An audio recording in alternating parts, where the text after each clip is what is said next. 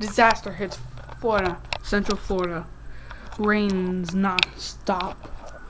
Flakes overflowing, roads being blocked. There's no hope for us all. But there is one thing.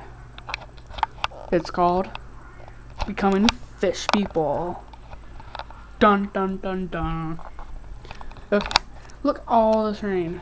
See, seen in my other video. Quick little video. You you might hear it, you might not.